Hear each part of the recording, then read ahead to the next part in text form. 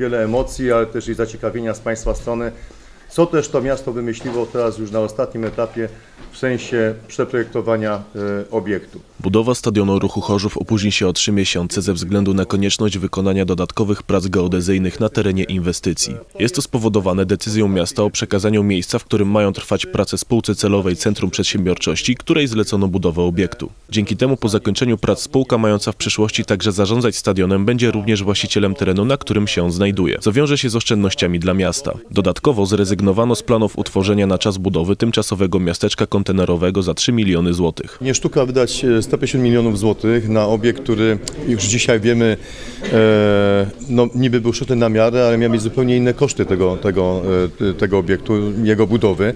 Jak mamy wydać 150 milionów złotych, warto podczas tych trzech miesięcy, o których wspominałem, one są po prostu niezbędne, te trzy miesiące po to, żebyśmy mogli włożyć aport do spółki, która będzie obiekt budowała. Przemyśleć po prostu w tym czasie jakby dodatkowe jeszcze możliwości e, bym powiedział, oszczędności, tak? bo e, wyrzucenie w błoto 3 milionów po to, żeby wybudować miaste, miasteczko kontenerowe tymczasowe, tak? gdzie klub będzie miał swoją siedzibę, a piłkarze swoje szatnie, no według mnie jest bez sensu. Lepiej te pieniądze włożyć w rozbudowę obiektu istniejącego dzisiaj, e, który sąsiaduje dzisiaj z tą trybuną główną, a przylega do, do, do boiska treningowego i go po prostu rozbudować tak? i tam stworzyć nowe miejsce, nową siedzibę dla ruchu Chorzów, e, który na pewno e, będzie dumny, że będzie miał powiedzmy cały obiekt do swojej dyspozycji.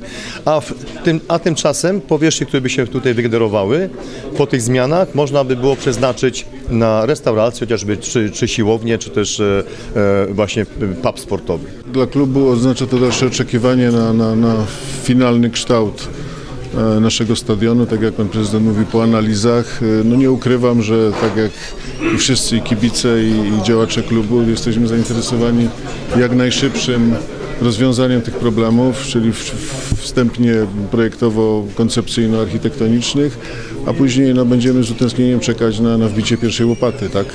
Bo niewątpliwie nie musimy się wspólnie przekonywać, że nowoczesny, funkcjonalny, żyjący 7 dni w tygodniu moim zdaniem stadion jest nam bardzo potrzebny, y, kibicom, wszystkim uczestnikom takiego ciekawego wydarzenia sportowego, jakie mam nadzieję zapewnimy już od wiosny, a poza tym no, komercyjnie, żeby on się spinał, bo to już jest bardziej kwestia przyszłego operatora stadionu, no ale stadion powinien i, i może nowoczesny, funkcjonalny na siebie zarabiać.